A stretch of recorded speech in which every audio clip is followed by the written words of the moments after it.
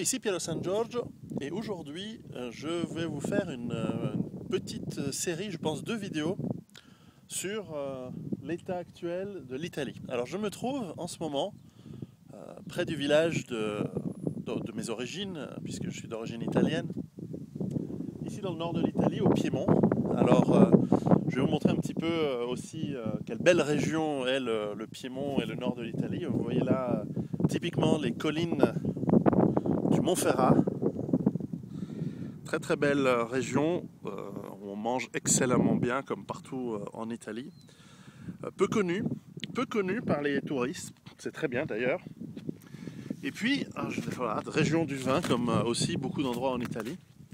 Voilà, on va passer mon tank, mon Panzer allemand.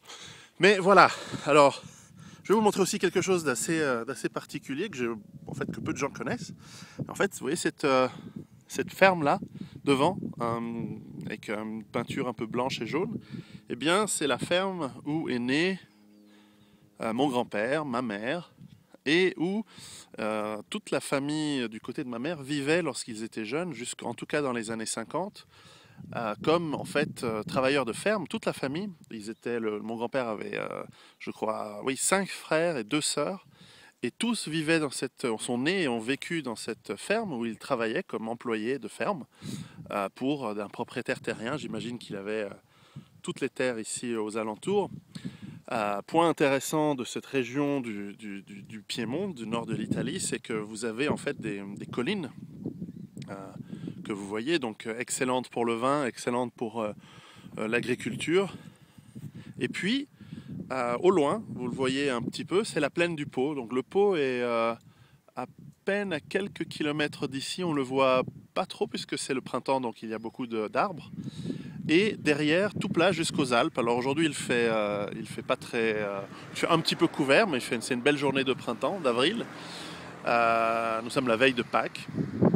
Et on voit en fait la plaine. Et donc cette plaine, on en voit quelques-unes, des rizières qui ne sont pas pleines d'eau en ce moment, sont à sec. Et euh, rizières, donc grande production de riz, grande production agricole dans, cette région. Voilà, donc euh, c'est de là que je viens, de cette ferme, bien que le village finalement d'où vient, vient ma maman, et mon père vient pas très loin non plus, est tout près d'ici à quelques kilomètres également. Alors je voulais vous parler un petit peu, de, en prenant cette euh, occasion d'être ici pour quelques jours euh, de retour aux racines euh, dans l'ancienne maison de mes, grands-parents. C'est pas celle-là, ils ont, ils ont bâti une toute petite maison de village minuscule mais, mais, fort accueillante et où je me sens très très bien. pour vous parler un petit peu de l'Italie. Alors l'Italie, c'est un pays qui est très très très différent, avec bien sûr des points communs euh, notamment de pays où euh, grand nombre d'entre vous euh, habitaient, donc la France. Et dans le cadre de l'effondrement économique, voilà ce que je crois va arriver en Italie. Je crois que l'Italie va est sur la même pente que tous les autres pays et depuis d'ailleurs longtemps est un des pays les plus endettés d'Europe. pas si grave, moins que l'Angleterre, moins que la Grèce évidemment, mais, euh, et d'ailleurs une, dette sous contrôle et stable depuis euh, une dizaine d'années, au moins on peut donner ça, euh, c'est probablement le seul point positif, et on en parlera que je peux donner au, premier, Berlusconi sur l'Italie, il a géré la dette sans l'augmenter toutes ces années, en presque 20 ans de, pouvoir. Et malgré tout, c'est quand même un pays qui va souffrir par l'onde de choc de l'effondrement économique global et qui donc va se retrouver dans une situation très très difficile, comme nous tous, euh, je crains fort. Alors, quels sont les points forts et les points faibles de l'Italie? Alors, euh, prenons les points forts en premier. Alors, l'Italie a un grand, grand avantage. Tout d'abord, c'est que malgré un État centralisateur et avec des impôts confiscatoires débiles et terribles, euh, l'Italie, les Italiens sont un peuple qui en a rien à foutre de l'État et en a rien à foutre des règles et depuis et toujours euh, considère que l'État est néfaste et l'État gère mal les choses et donc se débrouille tout seul. En fait, pour vous donner une idée, je pense que, et je connais très très bien l'histoire d'Italie, je pourrais vous en parler pendant des heures, le, meilleur gouvernement qu'a eu l'Italie, c'est le gouvernement fasciste. C'est dire à quel point le reste est mauvais, parce qu'il faut savoir que les gouvernements fascistes sont extrêmement, enfin tout ce qui est dictature et en général fasciste, en général est extrêmement mal gérée et extrêmement pleine de corruption. Et pourtant, c'est encore le meilleur gouvernement qu'ils aient eu. C'est dire à quel point le reste a été mauvais. Donc vraiment, moi je ne suis pas particulièrement un fan de l'époque de Mussolini ici, bien que mes grands-parents en parlent plutôt bien, en parlaient bien, bien quand ils étaient vivants. Mais bon, c'est parce que les trains étaient à l'heure, il y avait l'ordre, il y avait de la sécurité. Ils ont tous regretté évidemment les guerres stupides dans lesquelles ont participé l'Italie. Mais enfin bon, voilà. Donc c'est un peu pour donner l'idée de à quel point l'État italien est, mauvais depuis toujours. Euh, mauvais et même pour beaucoup d'Italiens, considèrent que l'État italien était sous contrôle euh, de la mafia depuis en tout cas la, la guerre, depuis en tout cas l'arrivée des Américains. Il faut savoir que les Américains ont des bases militaires en Italie depuis 1944. Donc l'Italie est un pays occupé par les États-Unis. C'est comme ça. Euh, avec un gouvernement plus ou moins indépendant. Enfin, on voit qu'il y a eu beaucoup de terrorisme, beaucoup de terrorisme en fait manipulé par l'État pour tenir une période de tension dans les années 70-80 pour que justement cette dépendance des États-Unis continue. Comme la Grèce, comme la Turquie, comme beaucoup d'autres pays en Europe, c'est une sorte de protectorat américain, c'est comme ça. Mais les gens s'en foutent. Les, gens gèrent leur boulot depuis toujours, font leurs euh, histoires, font leur, euh, leur c'est des gens, les Italiens sont des entrepreneurs. Ils aiment démarrer leurs, leurs, affaires par eux-mêmes. Ils sont inventifs. Ils ont euh, une assez bon, bon, assez bon système éducatif et surtout en fait une, une, culture de tradition familiale, de culture du terroir très très forte, qui donne une, des racines très très fortes aux Italiens pour pouvoir démarrer leurs petites entreprises parfois formelles, et elles ont beaucoup de succès à l'international et mondialement euh, dans la mode, dans les, les, entreprises de production, de, tout ce que l'on veut, euh, notamment dans le nord, qui est vraiment la région riche de l'Italie, qui a une production euh, industrielle de petite envergure mais très performante. Et puis, ou alors informelle, et là bah, c'est partout, notamment aussi dans, dans, le sud, Naples étant l'exemple classique où il y a une production industrielle incroyablement grande, totalement dans l'économie grise et pas déclarée à l'État, etc. Donc ça évite de payer des impôts et ça évite de nourrir cette machine incompétente qu'est l'État italien.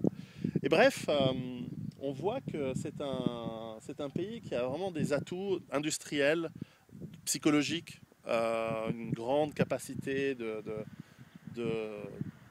travail et puis aussi une capacité d'être... C'est un pays riche, un pays riche et sophistiqué. Et donc, euh, également, une capacité à, on voit comment les, Italiens s'habillent. Moi, chaque fois que je viens ici, j'ai l'impression d'être un clochard. Ils s'habillent super classe. Euh, c'est même, en fait, exagéré, je dirais même souvent précieux. Mais bon, chacun ses trucs. Chacun ses, centres d'intérêt. Et puis, euh, autre point de force, c'est une grande proximité de toutes les villes et de tout, tout le pays à, justement des zones agricoles. Puisque par la géographie d'Italie, vous voyez, c'est une sorte de botte. Il n'y a pas de grandes, grandes villes, et peut-être encore Milan et Rome sont des grandes villes, mais après tout, la campagne est tout près. Et il y a peu d'endroits où on est loin des, villes. Et plutôt, les gens aiment vivre dans les villages, dans ces, maisons. Ici, ce ne sont quasiment plus des agriculteurs. Ce sont en fait des, des, gens qui travaillent à la petite ville du coin, une ville de 60 000 habitants, il y en a plein, mais qui restent, qui habitent dans les campagnes, donc qui à côté ont leur potager, etc. Donc ça aussi, ce sera une grande force puisqu'il y a une tradition de culture du sol. Alors certes, les grandes productions industrielles vont souffrir le jour où il n'y aura plus de pétrole, le jour où il n'y aura plus d'engrais, et, ça, va être, ça va être la merde pour avoir la bouffe. En revanche, euh, il y a suffisamment de terre pour beaucoup de gens, et si les gens des villes peuvent partir dans les, euh, dans les campagnes, eh bien, il y aura suffisamment de, nourriture pour tous, euh, si c'est relativement bien géré, ce qui n'est pas très compliqué. Alors, les points négatifs en revanche de l'Italie, eh bien tout d'abord, c'est qu'il y a quand même quelques grandes villes, Milan, Rome, euh, peut-être Turin, euh, mais Naples, euh, qui est vraiment une grosse, grosse ville, elle qui est, assez, assez problématique. Et puis, il y a bien sûr tout un. Parmi dans cette économie grise, il y a malheureusement aussi une très très forte emprise du crime organisé. Crime organisé qui est évidemment connu par, la, par le, cinéma, évidemment, on, parle beaucoup de la mafia euh, sicilienne, l'Andraghetta de Calabre, la Camorra de, Milan, mais en fait, c'est de pardon de Naples. Mais en fait, toutes ces mafias sont partout dans l'Italie, présentes partout, notamment dans les secteurs clés de l'industrie, que sont la construction, le bâtiment, enfin comme partout ailleurs. Hein, les mafias, elles sont pareilles euh, partout dans tous les pays du monde dans, ces secteurs-là. Enfin, ici, elles sont très puissantes. Elles ont depuis très longtemps euh, un réseau tentaculaire qui maîtrise euh, les institutions politiques. Avec Berlusconi, on parle en fait que même c'est la mafia qui était au pouvoir, puisqu'il faut il faut voir un petit peu quelle est l'origine de la fortune de, Berlusconi pour comprendre euh, ses liens avec la mafia sicilienne de, Palerme, précisément. Enfin, je ne veux pas trop en dire plus, mais c'est facile de, facile de trouver ça euh, par vous-même. Et donc ces mafias, eh bien, euh, elles sont puissantes, elles sont armées, elles sont organisées, elles ont une armée finalement de, de, gens tout à fait à leurs ordres et fidèles. Donc ça va être une, force qui va prendre le contrôle de certaines zones qui va être vraiment redoutable. Deuxième élément négatif des Italiens, c'est qu'ici, personne ne sait se défendre. L'Italie, même quand ils ont une armée, ils ne sont, pas, sont pas capables de gagner des guerres. Il faut voir leur histoire.